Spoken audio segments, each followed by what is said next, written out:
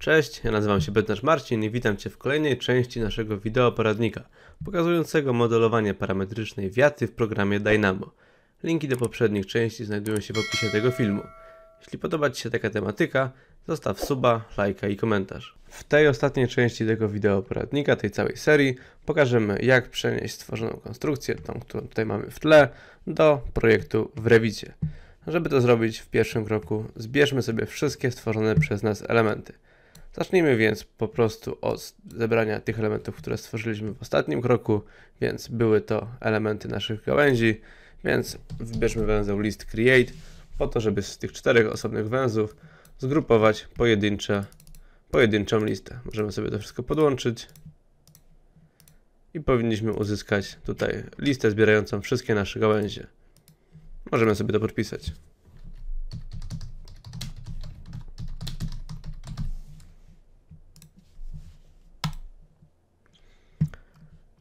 W dalszej kolejności, co my tu jeszcze stworzyliśmy? Stworzyliśmy płatwie, więc możemy sobie przy pomocy węzła watch również je tam na końcu zebrać w jedno miejsce, więc możemy sobie napisać, że są to wszystkie płatwie.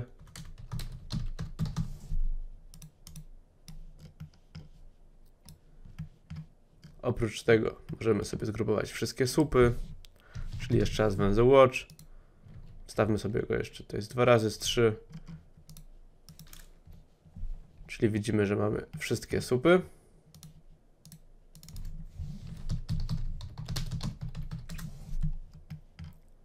Mamy również tutaj w węźle translacji kolejnym wszystkie łuki. I zostają nam zostają nam punkty, które posłużą do wstawiania stóp fundamentowych, więc również podpiszmy to punkty stóp.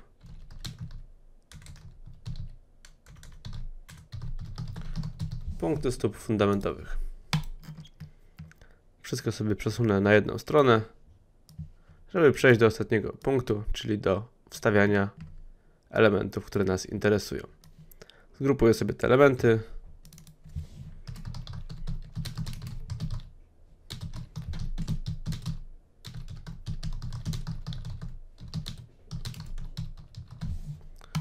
To będzie zgrupowana geometria w Dynamo służąca do wstawiania elementów w Revicie. Czyli jeszcze raz węzeł list create zgrupował wszystkie gałęzie. Węzłami, węzłami watch mamy podgląd na wszystkie płatwie, punkty do stworzenia wszystkich stóp fundamentowych, wszystkie słupy czy wszystkie łuki. Żeby teraz te elementy przenieść do Revita, skorzystamy sobie w zasadzie z trzech węzłów, czyli po pierwsze stworzymy sobie beam by curve, po drugie column by curve, po trzecie, dla naszych stóp fundamentowych potrzebujemy znaleźć troszkę inny, inny węzeł, mianowicie family instance by point and level. Czyli tymi trzema węzłami posłużymy się, żeby nasze elementy powstawiać. Przejdźmy sobie na tryb pracy manualnej, żebyśmy kontrolowali, w którym momencie te elementy mają się wstawiać, żeby wszystko wstawiło się w sposób poprawny. I przejdźmy sobie od góry, czyli gałęzie to będą elementy, które będą definiowane jako belki, więc możemy sobie je tutaj dać, te elementy, yy, ten węzeł do góry, więc to będą nasze krzywe. Jako poziom możemy sobie znaleźć interesujący nas poziom, bez większego znaczenia, ja w tym projekcie mam tylko jeden, żeby było troszkę prościej, więc podpinam go tutaj. I ostatnia rzecz, czyli typ belki, jaką chcemy sobie tutaj podpiąć. Więc musimy sobie po pierwsze znaleźć wszystkie typy belek, jakie mamy w projekcie, czyli Structural Framing Types. Analogiczny węzeł, czyli oprócz tego, że typy belek, możemy sobie wybrać, wybrać wszystkie rodziny, tak naprawdę po to, żeby znaleźć rodzinę fundamentów, więc możemy od razu to zdefiniować i zdefiniować sobie również wszystkie kolumny, jakie mamy w projekcie. Dla gałęzi potrzebujemy sobie znaleźć jakąś rodzinę framingów, więc w moim przypadku wybiorę sobie rodzinę, która wiem, że dobrze się sprawdzi, czyli RO60 na 3.2. Mam pierwszą grupę zrobioną, czyli tutaj możemy sobie to zdefiniować jako wstawianie gałęzi do Revita.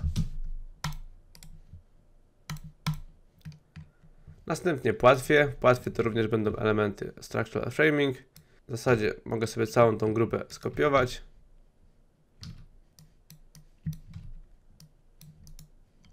I zmienić sobie po pierwsze jako Structural Framing Types zmienić sobie na inny. Możemy sobie w tym przypadku zdefiniować to na przykład jako taką rodzinę. Tutaj oczywiście tymi rodzinami można bawić się dowolnie. Jako krzywą możemy sobie wstawić linie, które definiują płatwie. Kolejna grupa, czyli punkty stóp fundamentowych.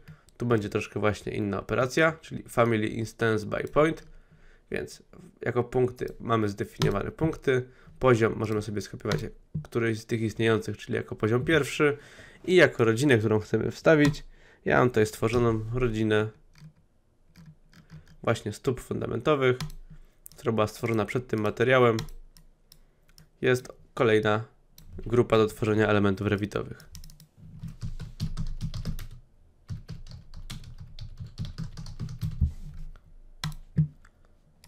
Zmieniam sobie kolor.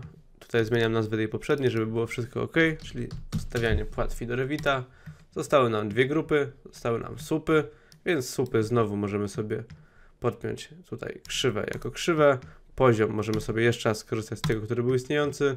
I column, column type możemy sobie ustawić na przykład supy okrągłe 200 mm. I znowu zgrupuję sobie tutaj wstawianie supów do Revita. Ostatnia rzecz, czyli ostatnia grupa, którą mogę jeszcze raz skopiować, czyli jeszcze raz grupa, która stworzyła do wstawiania elementów belek. Tym razem po to, żeby wstawić łuki, elementy łukowe również możemy wstawiać jako belki, więc podpinam sobie to tutaj. Jako rodzinę, która będzie definiowała mi moje łuki, możemy sobie zdefiniować na przykład rodzinę o takim typie 76 na 140 tak jak powtarzam, to nie ma większego znaczenia, te typy możemy sobie tutaj je robić dowolnie. Żeby to wszystko powtórzyć, co tutaj zrobiliśmy, czyli wybraliśmy sobie wstawianie najpierw elementów, które są gałęziami, wybraliśmy taką rodzinkę, zdefiniowaliśmy poziom i stawiliśmy to węzłem Structural Framing Beam by Curve. Następnie operacja analogiczna, tym razem dla płatwi, inna rodzina, poziom ten sam, potem wstawianie stóp fundamentowych. Tutaj był inny węzeł, ponieważ wstawianie w punkcie rodzin. Wybraliśmy rodzinę. Potem kolejna operacja wstawianie supów, więc inny, inny węzeł, który właśnie tylko wstawia w supy i wstawianie płatwi do Revita. Ostatnia operacja. Mogę dać sobie teraz tutaj F5, żeby to wszystko uruchomić, jeśli jestem na trybie pracy manualnej. Operacja powinna się udać. Przechodzę sobie do Revita. Widzimy, że nasza wiata już się wstawiła i nasza wiata nam zaistniała. Jeśli chodzi o to, co z tą wiatą możemy sobie tutaj jeszcze zrobić, to teraz, jeśli przejdziemy sobie do, przybliżymy tutaj ten widok, to widzimy, że jest troszkę problem, jeśli chodzi o przenikanie się tych elementów, więc możemy się troszkę pobawić ustawianiem tych parametrów, które tutaj są dla elementów belkowych ustawiane jako wartość odsunięcia dla zetów więc możemy się pobawić tym parametrem. Czyli tu widzimy, że mamy kilka opcji ustawiania tych elementów. Moglibyśmy to zrobić ręcznie już w programie Revit, możemy to zrobić jeszcze w Dynamo, więc do tego, do tej ostatniej operacji sobie przejdźmy. I ustawimy to dla kilku elementów. Ustawimy sobie to dla łuków, a także dla płatwi.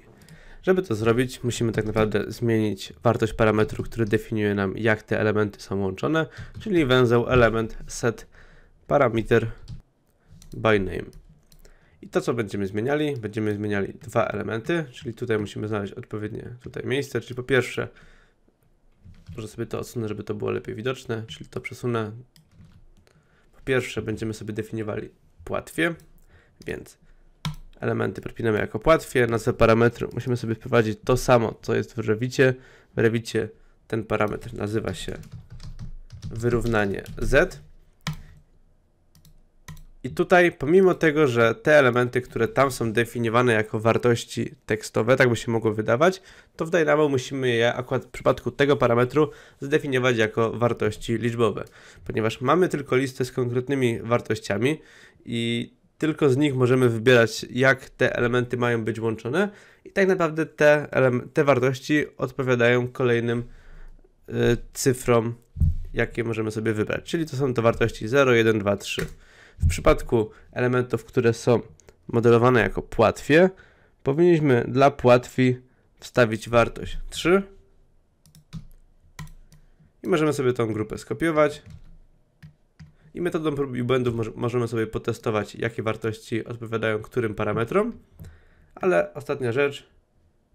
Aha, tutaj nie zmieniłem nazwy, tutaj powinny być łuki. Wstawianie łuków do Revita, więc ostatnia rzecz tutaj. Dla tych łuków też zmienimy sobie parametr i im podepniemy wartość wartość 0. Tak, tutaj tego też nie podpięliśmy, więc tu podpinamy wartość 3, czyli widzimy, że zmieniamy wartość parametru. Parametr o nazwie wyrównanie z, jeśli przejdziemy sobie do Revita, widzimy, że jest to ten parametr.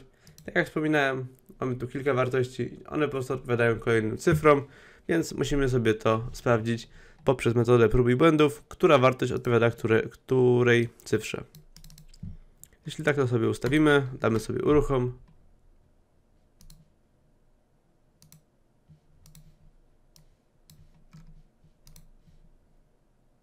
Operacja nam przeszła i widzimy, że już elementy się nie przenikają.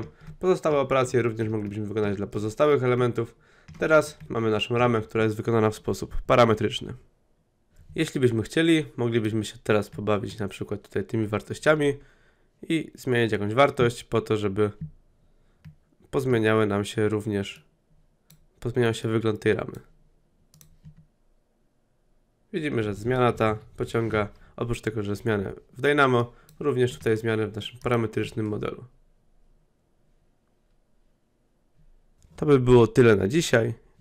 To był ostatni materiał z tej serii. Jeśli ta seria Ci się podobała i masz ochotę poznać więcej zagadnień związanych z Dynamo, to zachęcam Cię do dania suba, zostawienia komentarza, po to, żebyśmy wiedzieli, że są osoby, dla których te treści są ważne i żebyśmy mogli dalej je tworzyć. Dzięki i do usłyszenia i do zobaczenia na zajęciach. Cześć.